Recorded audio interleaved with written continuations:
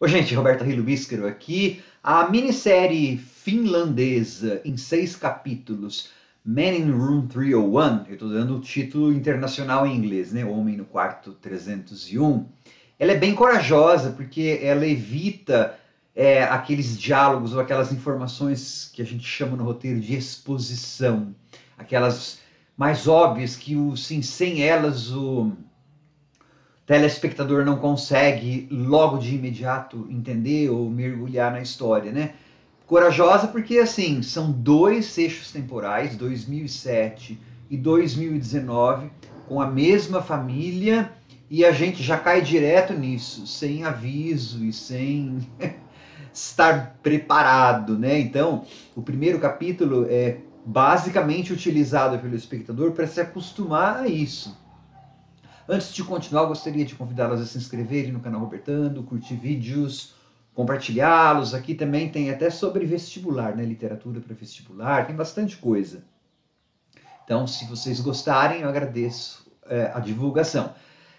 Começa com um, um, algumas pessoas andando na, na mata, né, na Finlândia. É o verão, eles estão comemorando Midsummer, lá, solstício de de verão. E aí então tem um, um, tio, um disparo de rifle, tá? Tem um tiozinho, um menininho, tal.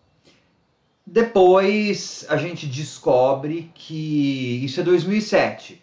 Depois em 2019 a gente vê alguém visitando um túmulo e a gente descobre que um, um menininho, um bebezinho, Tommy, é, que estava vivinho em 2007 não está vivo em 2019. O Tom era uma criancinha, nenenzinho. Dois anos, sei lá. E então aí o que, que vai acontecendo? Nos dois eixos temporais, a gente vai vendo a mesma família, em 2007, quando acontece isso, 2019, quando parte dessa família vai de férias para a Grécia. Só que uma parte dela fica em Helsinki, algumas meninas tal.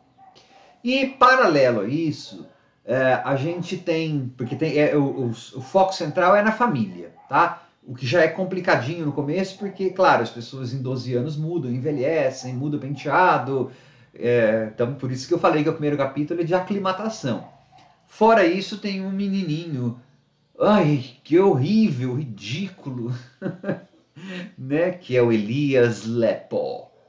É, que é o menininho que estava segurando a arma no começo e que tem, ele é um menino rebelde, ele tem razões para ser, mas é aqueles meninos é, que estão com raiva do mundo, difícil a gente simpatizar com eles, com ele. E que fica lá, ele sabe todos os segredos daquela família, ele invade a casa de campo deles, dessa família e vê coisas. Então ele é um suspeito, assim, para o crime, né? Bom, e em 2019, enquanto essa família está na Grécia, tem um cara que se hospedou no quarto 301 e que tem o mesmo tipo de cabelo do, desse Elias, né? De 12 anos antes, mesma cor e tal. Então a série ela fica assim: será que esse cara no quarto 301 é o Elias Lepo que está querendo se vingar? É, mas o que está acontecendo? Né? Essa família tem segredos, vão sendo é, descobertos. É um drama e suspense psicológico ao mesmo tempo, tá? Porque pode ser também que o que esteja acontecendo não seja culpa desse cara do quarto 301, porque as meninas, duas é, irmãs né, do Tommy, que agora são adolescentes, ficaram em Helsinki, elas estão com dois namoradinhos. E um dos namoradinhos chama, o apelido dele é Elu, muito parecido com Eli, será? E tem a outra que tem o, Dan, o namorado que é o Daniel, que ele é bacana, mas estranho, sabe? Dá uns olhares assim. Será que algum deles é o Elias Lepo? Será que nenhum deles é? E quem será que matou o Tommy? Será que foi? Então, a, a, a, os seis capítulos conseguem manter esse suspense. Até que a gente vai ter uma resolução. Tá? É uma minissérie, então ela tem fim. Tem algumas marmeladas, como toda minissérie, né? É, falei, nossa, voos, Grécia, né?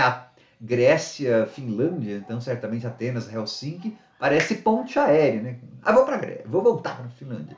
E na hora ele já está tão pro aeroporto, assim, né? umas noções temporais, né, para dirigir para tal lugar que eu falo, nossa, mas já chegou, né? Enfim, tem as suas marmeladinhas, suas coincidências, tem né, as coisas que você fala, ai meu Deus, que decisão. Mas de forma geral é uma série bem bacana, que foi criada por uma britânica, na verdade. Tá? Ela é, é finlandesa, mas foi criada por uma série uma britânica. Se você gosta de suspense, de crime, noir, né? Nordic noir, só que sem neve, porque é, é no verão é, finlandês e no verão grego, aí imagina, verão grego todo mundo tá suado, tudo, né?